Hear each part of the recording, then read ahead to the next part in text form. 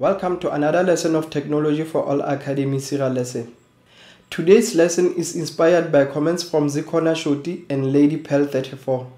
Hope this lesson will answer your questions and more. I also hope it will help those of you who would like to be security officers. If you have a comment or a question, please feel free to leave it and we'll attend to it as soon as we can. And please don't forget to subscribe and hit the notification bell so that you can be notified whenever we drop another lesson. Our focus for today will be on security officer registration on the PSIRA portal. We will start from the pre-assessment and we will finish our lesson by discussing the methods of payments. Without any waste of time, let us begin our lesson. Our first step is to open our PSIRA website. Okay, let's go to the PSIRA website www.psira.co.za.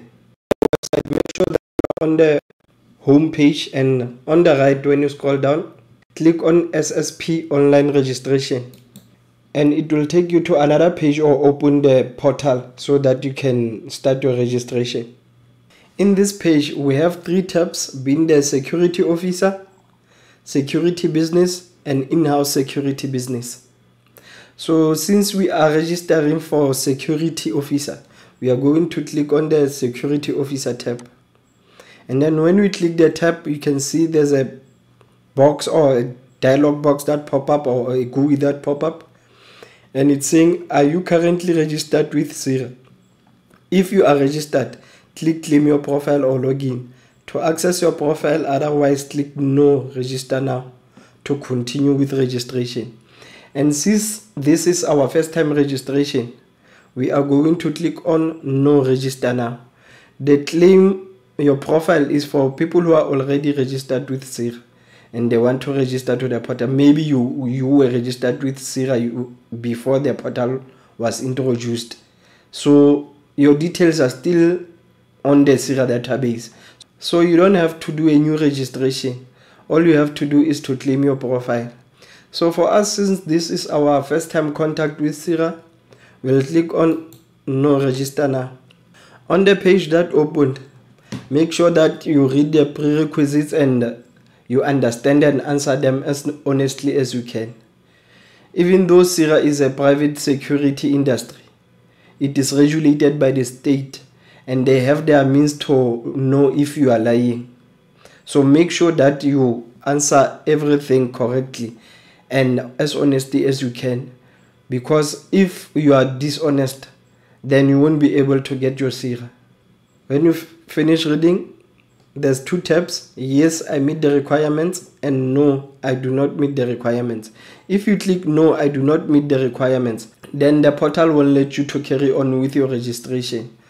So if you meet the requirements you'll click on yes i meet the requirements.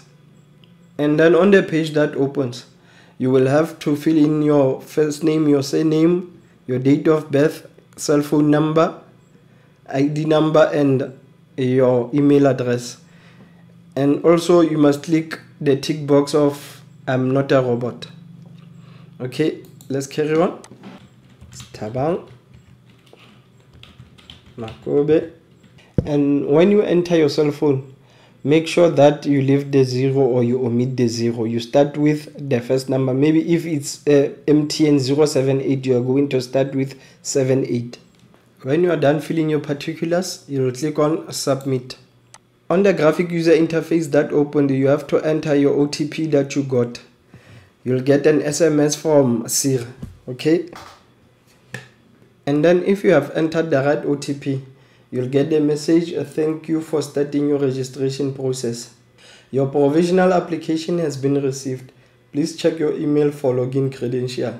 Continue to the dashboard. Okay, you click on continue to the dashboard.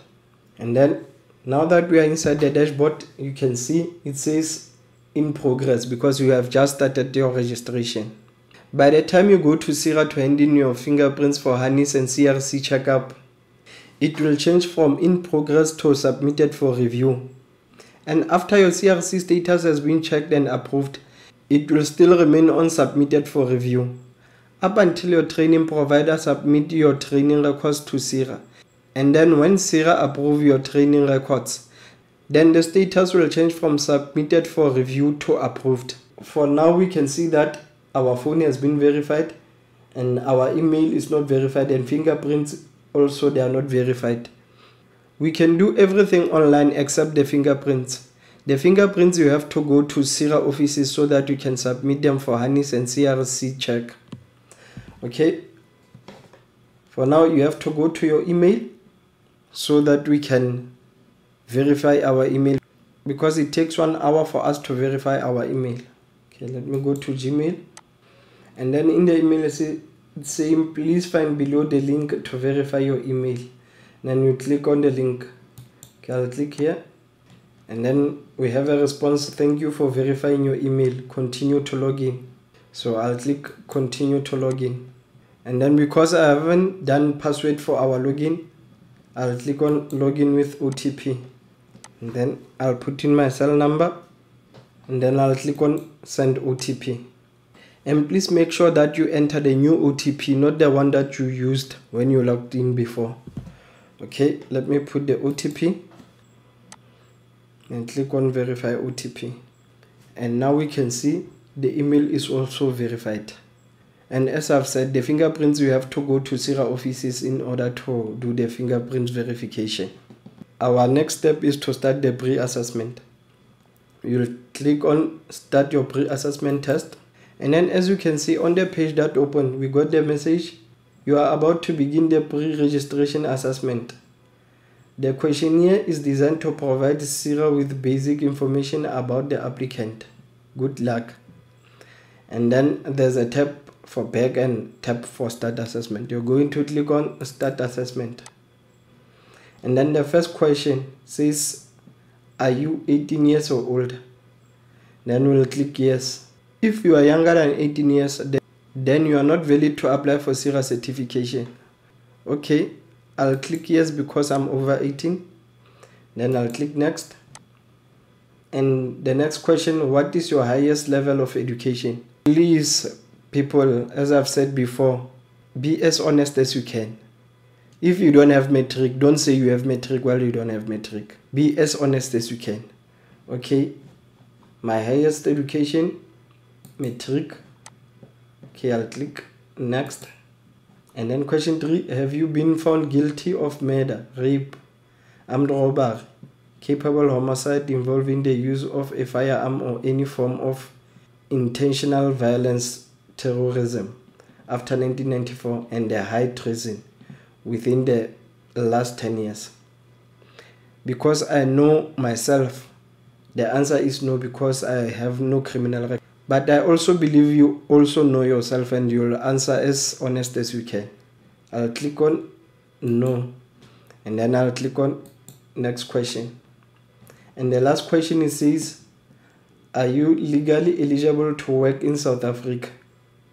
And also this question, if you can't work in South Africa, then the portal won't let you to carry on with the registration. So I know I can work in South Africa, so I'll click on yes, and then I click on finish. And then it says PSIRA pre-assessment. Thank you for taking the pre-assessment. Okay. I'll click on OK. And now that we are done with the pre-assessment, the portal will take us back to the dashboard and we can start our registration.